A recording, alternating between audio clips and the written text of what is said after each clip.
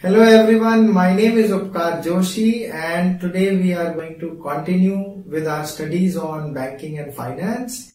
Today is lecture number 2 and we are going to do chapter number 3 today and discuss the importance of life insurance. As we all know, life is full of uncertainties. The only certainty in life is death. Meaning anyone who is born has to die. But the timing of death is not known. And this is what causes stress. And this is where life insurance can make a difference.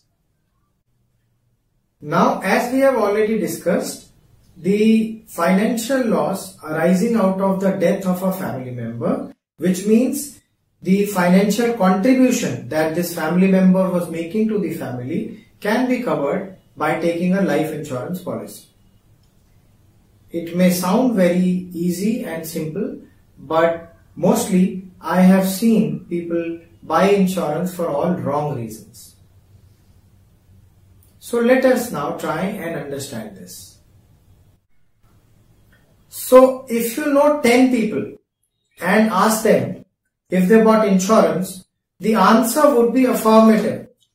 But if you ask them why did they buy this insurance policy, most of them wouldn't even be able to come up with a convincing reply.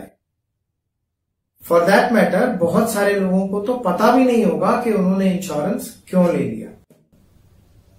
Some of them would come up with replies like my friend is an insurance agent my father suggested my relative suggested I wanted to save tax I somebody suggested that I should buy uh, some tax saving instrument, therefore I bought insurance. Somebody suggested that I should start saving, therefore I bought insurance, etc. etc. Now this is where people go wrong. So before buying insurance, one needs to have the main financial plan made up. Then while analyzing the plan critically, one needs to figure out what can go wrong and the risks associated with the plan. In order to understand this a little better, let me try and take an example. So the example is like this. Suppose a small part of your financial plan is to buy a house worth rupees 1 crore. Now while doing so, you are inclined to take a loan of rupees 50 lakhs from your bank.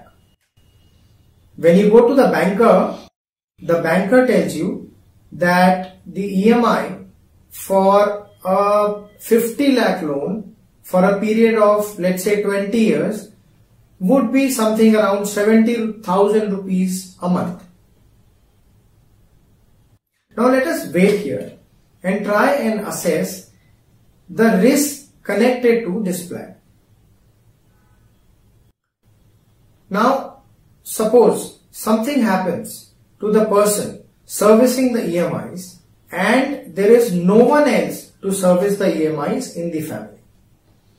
Then what will happen?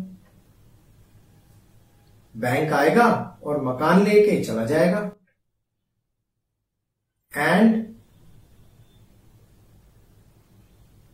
rendering the rest of the family members homeless now this is where insurance comes to the rescue of the family members so let's go back to the example If this person servicing the EMIs buys an insurance with the insurance cover amount equal to the loan amount and in case there is a mishappening then the family members or the nominee uh, named in the insurance plan can claim compensation from the insurance company and settle dues with the banker. Now, In this example, what we have learned is that if you have a complete understanding of the situation and you are also able to appreciate the risk connected with the main financial plan and then when you look at insurance you would certainly find an appropriate solution. Now let's take another example. Suppose the financial goal is children's education. Now you are able to make an assessment of the uh, expenses that you would have to make in future.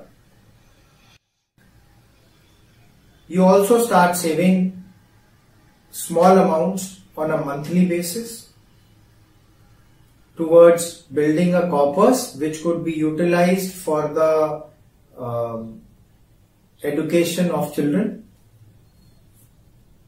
Let's wait here and try and assess the risk.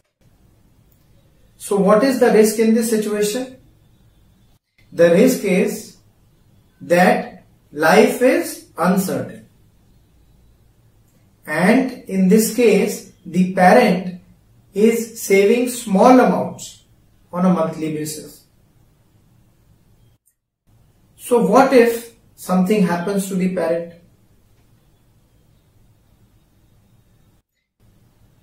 Here again, life insurance would come to the rescue of the education plan of the children. If the father, while he is still saving smaller amounts on a monthly basis, buys an insurance plan with insurance cover equal to the calculated target amount for education.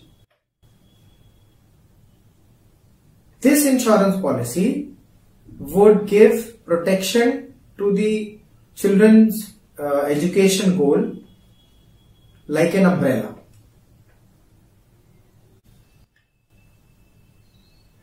Let us sum up.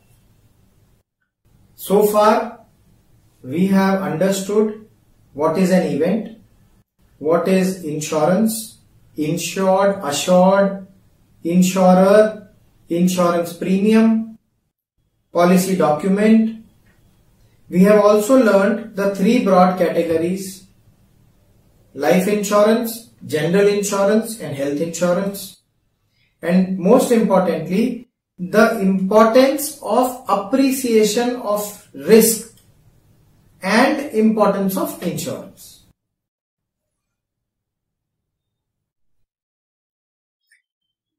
So now let's start the next chapter and try and appreciate types of risks associated with life.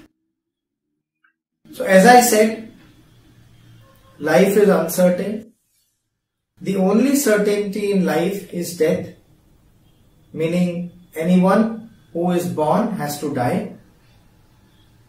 But the time of death is never known. In fact, I gave an example where due to the untimely death of the father, the single earning member in the family, the education of uh, his children got into trouble. There can be other examples where due to untimely death of the single earning member in a family, the survival of rest of the family members got into trouble. Or in a double earning family, meaning a family where husband and wife both are working and both are earning. Due to untimely death of one partner, important financial goals like education of children or building or construction of house gets into trouble.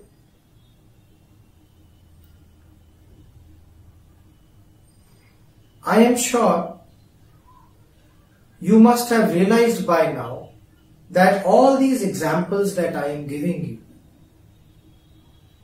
are connected with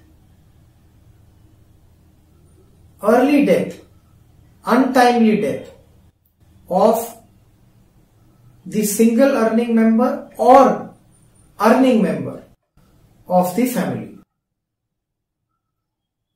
So let's stop here and think what is the kind of risk that we are trying to point out.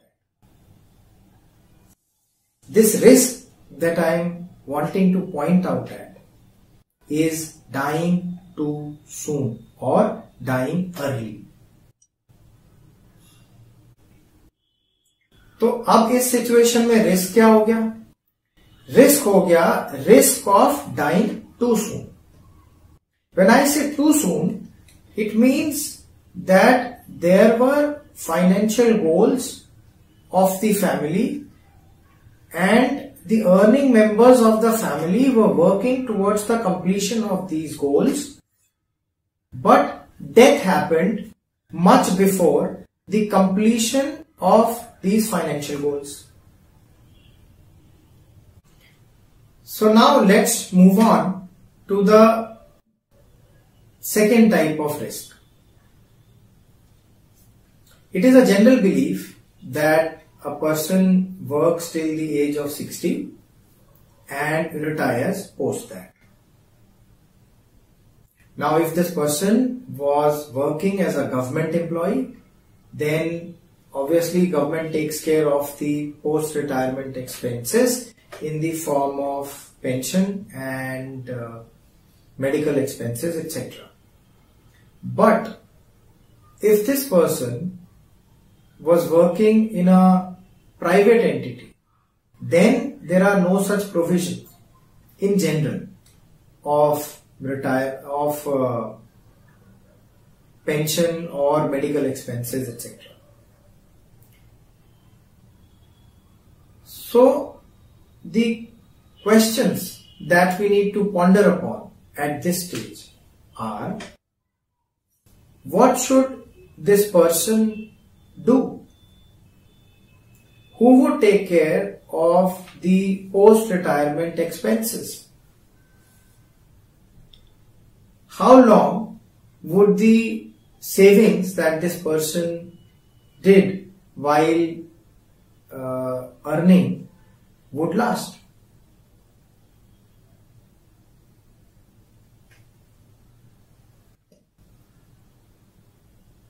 So this type of risk is called the risk of living long यानी अगर retirement के बाद ये व्यक्ति ज़्यादा वर्षों तक जीवित रहा तो अपना खर्च which means medical expenses also कैसे चला पाएगा? Now this brings us to the risk number three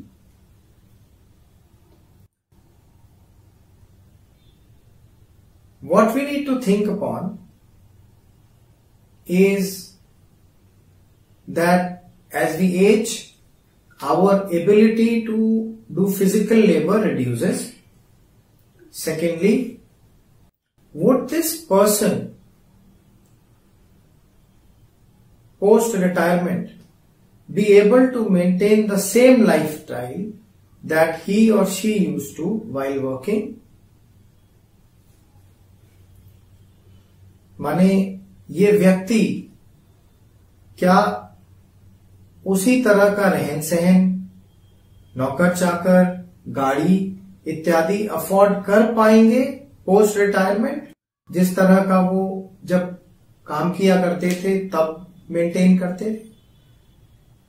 Now this type of risk that I am talking about और indicating towards is called living well risk meaning living as well as this person was or used to before retirement or while working. Having discussed three types of risk, we now move on to the fourth type of risk.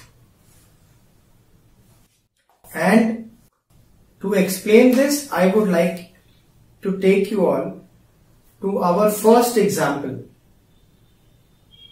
of a small family of four members, husband, wife and two children. Uh, and the unfortunate untimely death of the earning member of the family which means the husband due to which the um, education of the children got impacted. Now just imagine in this case if the husband had taken some loans, car loan, home loan, personal loan or credit card loan maybe, wouldn't that be an additional burden on the family? And just imagine if he had taken a home loan and due to the death, income stopped. And if there is no one else to service the EMIs, the bank would come and take over the house. Just imagine the kind of impact it would have on the family, the kids. This type of risk that I am trying to hint at is called the loan cover risk. So that completes our four types of risk. I would like to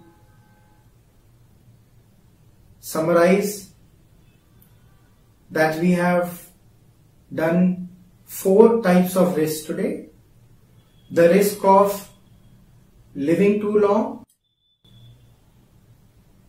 the risk of dying too soon, the risk of living well and the loan cover risk. So having understood the four types of risks, now we move on to chapter number 5 and try and understand how to cover the first type of risk which means the risk of dying too soon. We would also try and understand the types of products rather insurance products available in the market which would help us cover this type of risk. So just think and tell me what is your biggest fear I think the biggest fear that all of us have is the fear of death, which means that most of the times we are only trying to deal with the first risk, which means the risk of dying too soon. And because of this reason, we are unable to focus or even think of the other three kinds of risks. So let's start with this risk only, which means the risk of dying too soon and try and understand the products available in the market which would help us manage this risk. Basically, there are two kinds of products available in the market which can help us deal with the risk of dying too soon. The first product is called the term plan. In a term plan, a person pays a small amount as premium and in return, the insurance company promises that in case of any mishappening, the nominee will get some compensation as per the agreement terms. Now the points to be noted here are that number one, the premium of a term plan is very low. Number two, in case the policyholder survives the premium payment term, nothing is returned back to the person, which means the money that is paid as premium is not returned back and can be considered as an expense. Now obviously some people might think that this is a waste of money. Some people may not be satisfied because their money is not returned back. Therefore, there is another variant of the term plan which was introduced and this variant is called TROP which means term with return of premium. Now in a TROP plan the premium is more than what one would pay in a term plan. This extra premium that is paid to the insurance company is invested by the insurance company and the profits that the insurance company earns by way of investing is returned to the investor in the form of return of premium. So this brings us to listing down the similarities and differences uh, between a term plan and a TROP. The similarity is that both are pure risk cover plans. The differences are that number one, the term plan is a pure risk cover plan and in case the policyholder survives the policy term, the premium that he or she had paid is not returned back to the policyholder. On the other hand, in a TROP,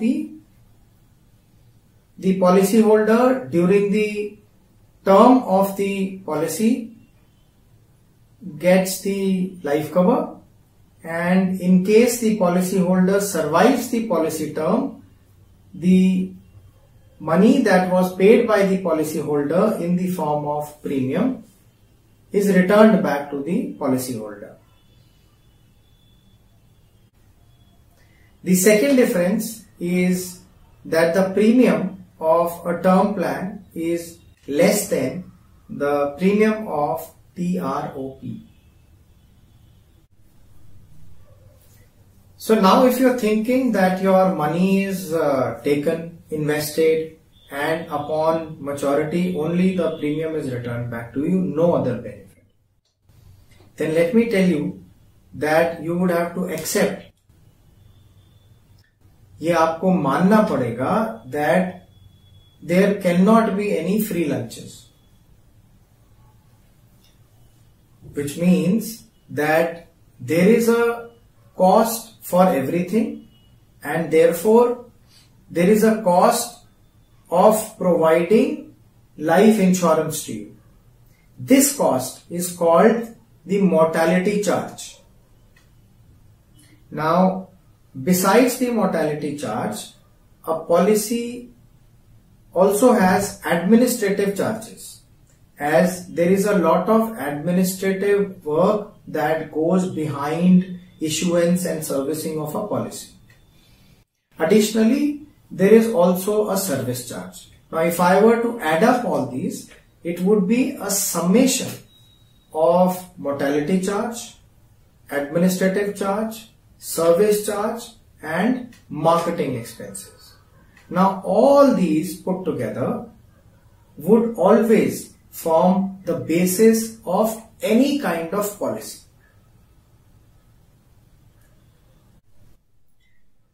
I would also like to bring to your notice that especially in case of a TROP or other plans where your money is returned to you,